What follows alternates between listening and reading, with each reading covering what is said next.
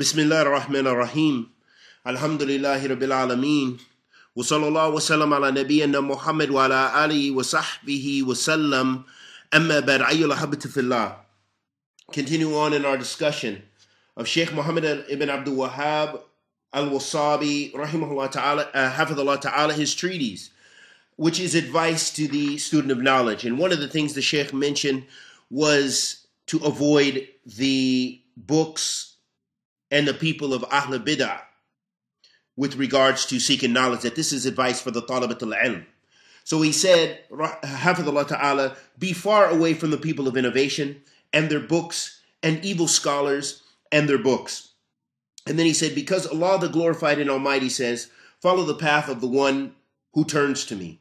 And the Prophet ﷺ says, the thing I fear most for my nation is a hypocrite with a knowledgeable tongue. Rather, Allah the Almighty says, O you believe, most surely many of the rabbis and monks eat away the property of men falsely and turn them from Allah's way. The Prophet ﷺ said, افتركت اليهود لإحدى وسبعين فرقة وافتركت النصارى لاثنتين وسبعين فرقة وستفترك هذه أمة على ثلاثة وسبعين فرقة كلها في النار واحدة قالوا من هي يا رسول الله قال من كان على مثل ما كان عليه وأصحابي The Prophet ﷺ said the Jews broke into 71 sects my ummah in the 72 uh, the Christians in the 72 sects my ummah in the 73 sects all of them in the fire except one and then the Sahaba radiallahu ta'ala anhum said who are they, Ya Rasulullah? قال من كان على مثل ما كان عليه The Prophet ﷺ said, those who are upon what I'm upon and what my companions are upon. Letting us know that the sunnah of the Prophet ﷺ is where we begin to take our knowledge from.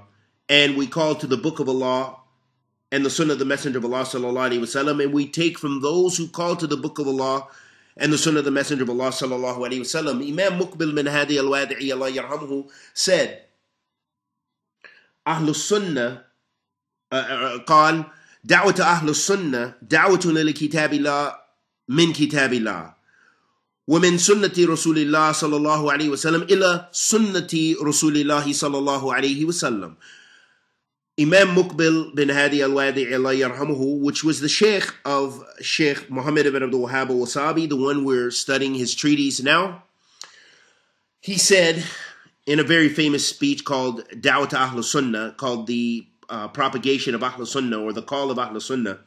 He said the call of Ahl Sunnah is from the book of Allah to the book of Allah.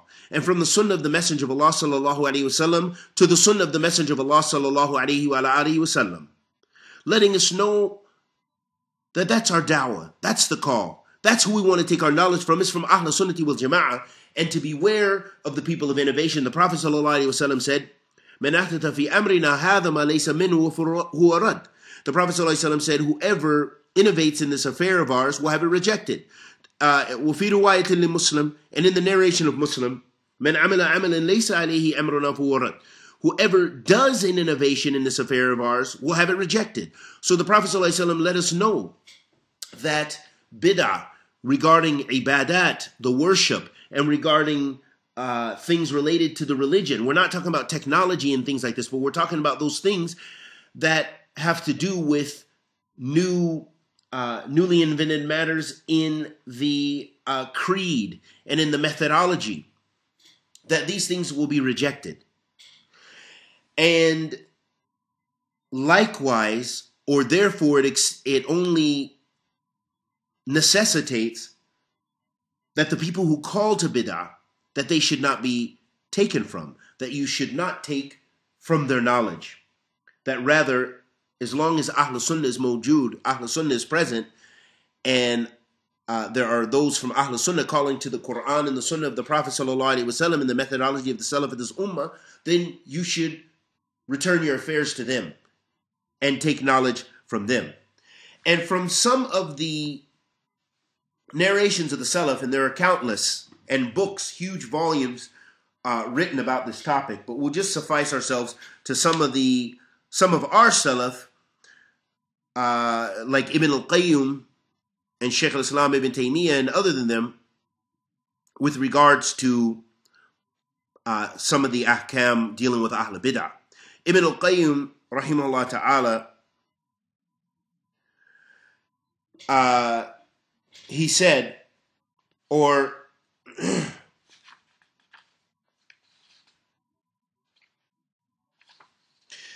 this is uh, actually we'll read uh, some some beneficial statements uh, from Sheikh Rabi bin Hadi al Madkhali in his book, uh, The Methodology of Ahl Sunnati wal Jama'ah and Warning Against Innovators and Their Books.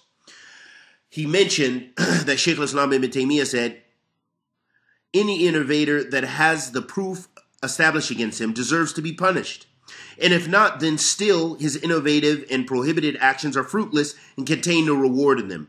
Rather, they subtract from his good deeds, reduce his reward, and serve as a means for lowering his sanctity and status. This is the ruling and the recompense for the deviant, misguided ones. And Allah rules with equity and justice. He does not wrong anything, not even an atom, an atom, and he is all knowing, most wise.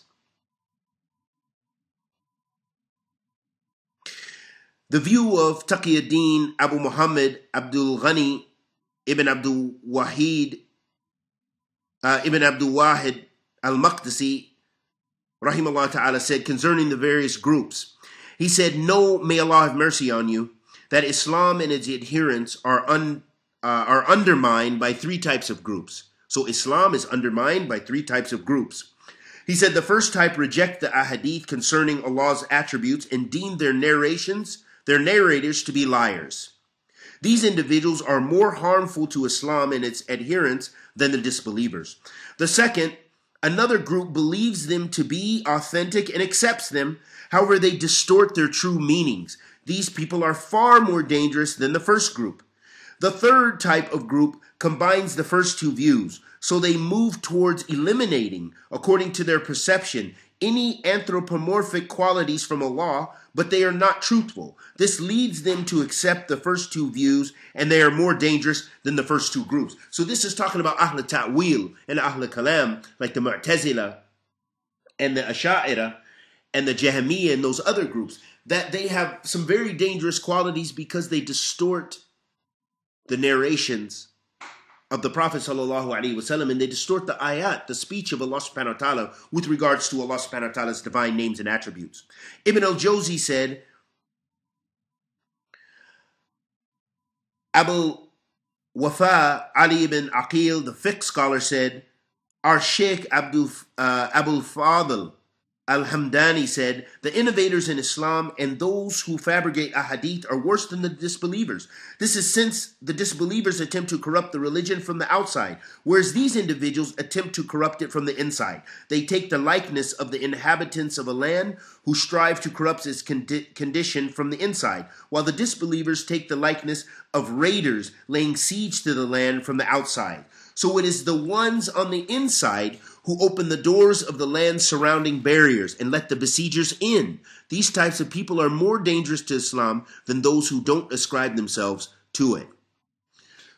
Sheikh al-Islam ibn Taymiyyah rahimahullah ta'ala said, lying against an individual is completely forbidden, regardless if he is a Muslim, a disbeliever, or an evil sinner. However, fabricating a lie against a believer is worse. In spite of all forms of lying on someone being forbidden, it is allowable during times of a legitimate necessity. Ahabatifillah, there are many, many narrations with regards to the dangers of, of bid'ah and ahl bid'ah.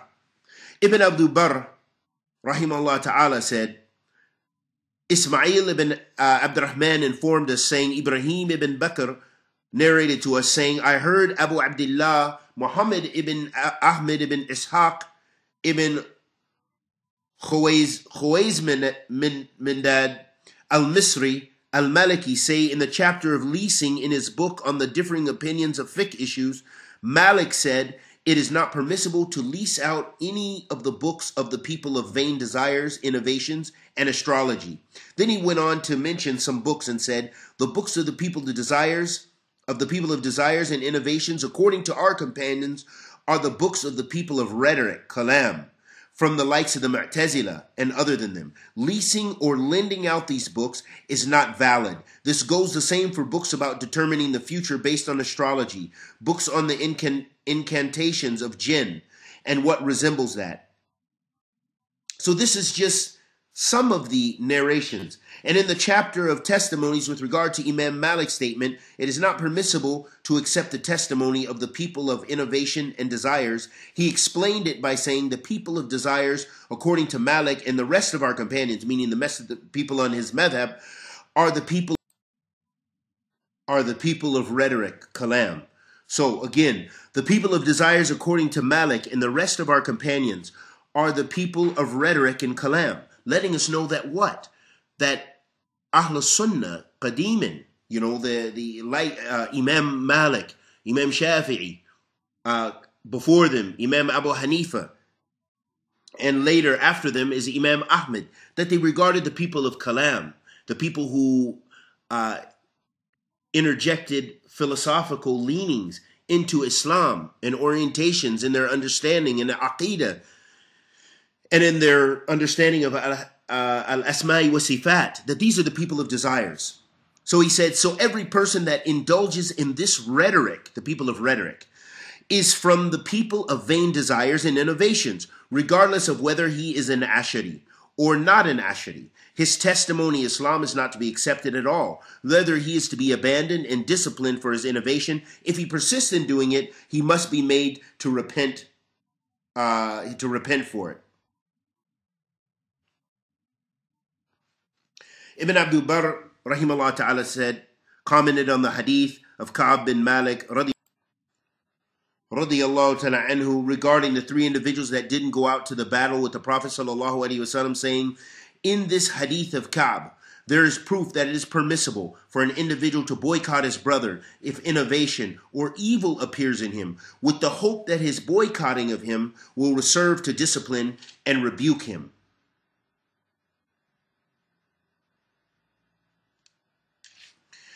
Sheikh Shamsuddin Abu Abdullah Muhammad ibn Muflih said, Sheikh Muwafiq ad-Din, meaning Ibn Qudama, may Allah have mercy upon him, mentioned the forbiddance of looking into the books of innovators. He said the Salaf used to forbid others from sitting with innovators, looking into their books, and listening to their speech. So this is the uh, uh, regarding this issue is that there's so many the, narrations of the Salaf to illustrate for us the importance of avoiding Ahl Bid'ah. And we ask Allah the Almighty to accept our good and forgive our evil. Wa sallallahu wa sallam ala nabiyyina Muhammad wa ala alihi wa sahbihi wa sallam.